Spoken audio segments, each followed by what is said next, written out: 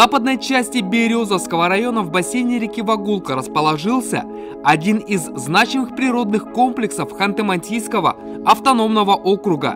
Заказник Вагулка, имеющий статус государственного объекта, был организован 9 августа 1993 года.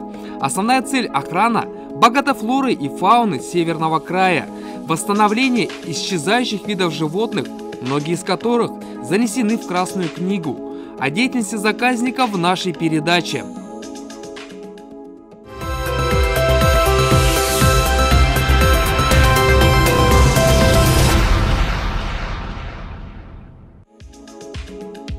Спокойная водная гладь и величавые сосны по берегам реки. Мы едем от центра Березовского района в одно из самых живописных мест муниципалитета. Заказник Вагулка расположен в 34 километрах на запад от Березова. Подъезжаем к двухэтажному дому, возле которого по ветру развивается флаг Российской Федерации, что вполне соответствует статусу государственного объекта. На берегу нас встречают одни из старожилов Вагулки, приветствуя радостным лаем. Собаки здесь неспроста. Когда-то к заказнику вплотную подходили волки и даже медведи. Охотинспектор Александр Грибанов знает не понаслышке, что значит встретиться с хозяином тайги. Коренной березянин 25 лет трудился фотокорреспондентом в районной газете. В 95-м пришел работать в заказник. Заказник был создан в 93 году, но штат набирали как раз в 95-м. Тогда Николай Константинович Киселев был, зав. отдела охотничьего хозяйства ну, в районной администрации. И вот, мы с ним знакомы были.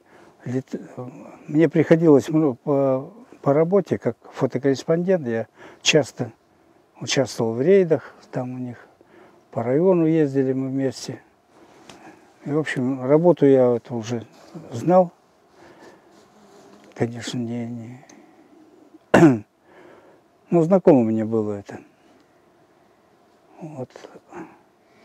И хотелось мне быть в лесу. И до этого я от, брал отпуск, когда, будучи работал фотокором, всегда заключал договор, договор с верпромхозом и э, отпуск проводил в лесу.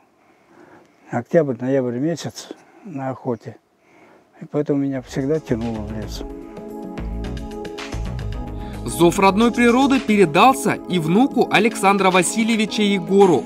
Живет в Тюмени. На лето приехал к дедушке порыбачить на природе. Но дела прежде всего. Мы собираемся проверить саланцы, одно из любимейших лакомств лося. Небольшой группой, состоящей из егерей Владимира Михайловича и Александра Васильевича, а также внука Егора, плюс наша съемочная группа, мы отправляемся в путь. В лодке охотинспектор просматривает специальный журнал учета. Прибыв на место, проверка. И вместе с этим новая порция соли для лесных обитателей. Александр Васильевич показывает места расположения солонцов. Сегодня все их мы обижать не будем. В большинстве еды для лосей еще хватает, а потому можно возвращаться домой. Здесь также продолжается работа.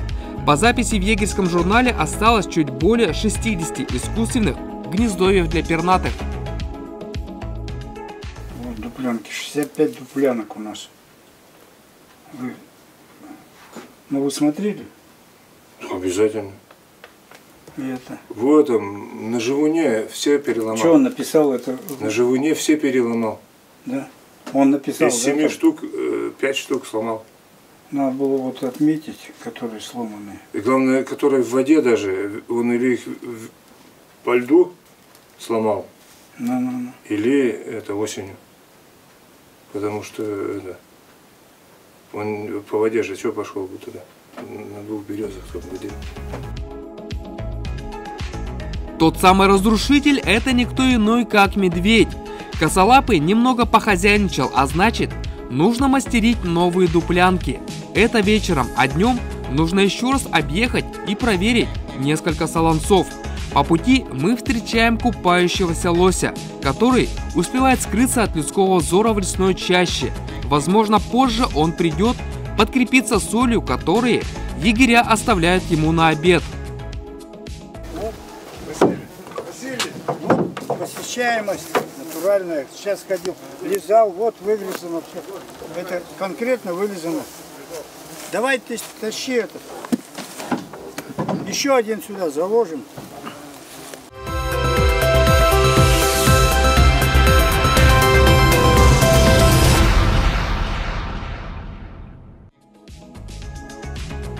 Организованный постановлением администрации Березовского района в августе 93-го, спустя 4 года Вагулка пережила свое второе рождение.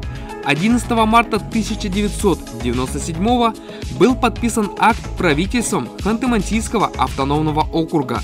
Природный объект приобрел статус и подчинение на окружном уровне – а с 1 июля 2002 заказник перешел в ведение Объединенной дирекции особо охраняемых природных территорий. Здесь запрещена любая деятельность, если она причиняет вред природным комплексам, животным и растениям. Разработка месторождений, вырубка леса и любой вид охоты.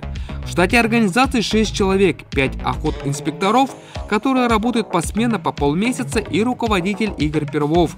Основная деятельность летом – учет популяции животных. В холодное время года – зимние маршрутные учеты. В зимний период мы делаем ЗМУ, это зимний, работа по зимним маршрутным учетам. У нас по старым оленным дорогам, по тракторным старым проложены постоянные маршруты. 350 километров должно быть этих маршрутов. И мы зимой, январь-февраль, мы проводим учеты. Это основные Основная работа у нас считается вот зимняя. Где, на буранах, на, где пешком, это со, составляем карточки соответствующие и посылаем в дирекцию. А они потом уже там дальше идут. А весной у нас учеты на тетеревинных натоках. Это глухарь, тетерев. Также составляются карточки – и, ну, это весной затрудняет работу, что распутится.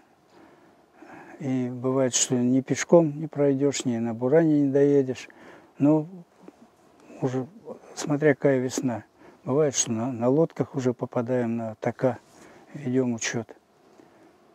Ведем учет летом, в основном ведем учет краснокнижных птиц. Это у нас орлан белохвост, скопа,